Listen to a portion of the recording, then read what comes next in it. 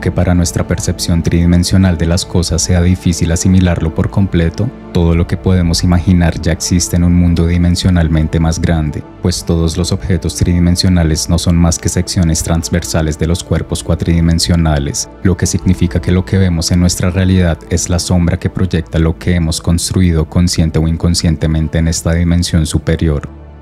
Ahora, el deseo es la fuerza motriz de nuestro mecanismo humano, y cuanto más intenso es el deseo, mayores son las fuerzas que se ponen en funcionamiento, lo que significa que quien tiene deseos débiles no está dispuesto a pagar el precio requerido, y el precio es controlar los movimientos de la atención para deshacerse de ciertos deseos menores que se alzan en el camino de la realización del más intenso. En ese orden tenemos en cada momento del tiempo la posibilidad de elegir lo que queremos experimentar en la realidad tridimensional, pero no somos conscientes del poder de llevar nuestra atención a niveles cada vez más elevados, pues los resultados no se producen de la noche a la mañana debido a nuestras ideas preconcebidas sobre cómo funciona la realidad.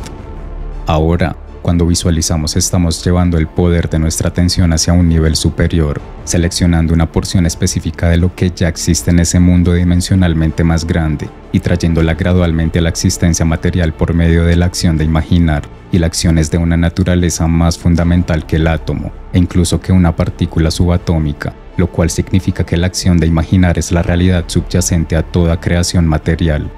Adicionalmente, cuando visualizamos estamos reprogramando nuestra mente subconsciente con las impresiones que deseamos experimentar en el mundo tridimensional, lo que significa que en el mundo físico todos nuestros movimientos conscientes e inconscientes se dirigirán hacia el cumplimiento de nuestro objetivo. En ese orden la atención es poderosa en proporción a la estrechez de su enfoque, pero lastimosamente no hay ningún trabajo que sea tan duro y del que la mayoría de la gente trate de escabullirse tanto como el de controlar los movimientos de su atención en el mundo tridimensional, lo cual significa que llevar la atención a dimensiones más elevadas como la visualización es un hábito que se dificulta aún más, pero aún así es posible con el poder de la voluntad, tema sobre el cual profundiza en el video del comentario fijado.